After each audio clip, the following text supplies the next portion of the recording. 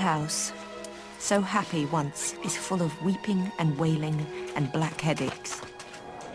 I ask myself to whom I may turn and think of you, my friend, the unwitting cause of all this grief.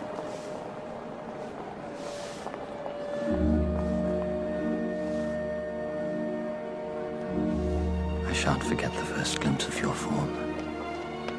Illuminated as it was by flashes of sunlight. I have dreamt nightly of your face and walked the landscape of my life with the rhythms of your writing ringing in my ears. I shall never forget our shining progress towards one another. Never have I felt such a concentration of my entire being. I cannot let you burn me up, nor can I resist you. No mere human can stand in a fire and not be consumed.